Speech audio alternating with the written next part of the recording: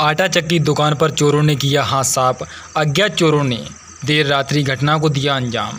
दुकान में रखी गुल्लक तोड़कर तकरीबन दस हज़ार नकदी उड़ा ले गए चोर। चोरों की तलाश में जुटी पुलिस। निमाड़ी जिला अंतर्गत पुलिस थाना टहरका का मामला सामने आया है, जहाँ आटा चक्की दुकान पर चोरों ने धावा बोला। दुकान की गुल्लक तोड़कर तकरीबन दस हज़ार की नकदी ले उड़े चोर।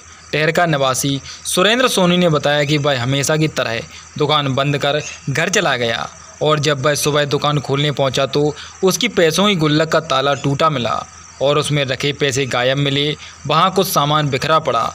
दुकान में लगी खिड़की भी खुली थी तो वहीं जिसकी सूचना टहरका पुलिस थाने में दी गई। दुकानदार द्वारा दिए गए आवेदन के आधार पर टहरका पुलिस ने मामले को गंभीरता से लेते हुए अज्ञात चोरों की तलाश शुरू कर दी है। नमाड़े क्षेत्र से एसआरबी पर रफत जाफरी की रिपोर्ट। ये पूरी घटना में क्या है पूरा मामला? ये है कि रात में हमारा ये बोर्ड ख़राब हो गया था। और ये चटकनी वो रात में जिसने भी चोरी की है वो चटकनी ये खोल के चला गया। हाँ। और फिर उसने इसमें से हाथ डाला। और जे इसमें जे गुल्लक में ताला डाला था इसमें जे उसने हाथ से यूँ मरोड़ दिया।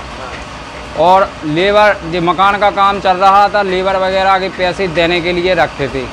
वो ही करीब साढ़े दस हज़ार रुपये थे। तो वो पूरा रुपया ले गया। कुछ पैसे जे पचास साठ सौ दो सौ रुपया जे छोड़ गया और बाकी सब ले गया। इसका आवेदन आपने दे दिया हाँ अभी पुलिस को दे के आए हैं।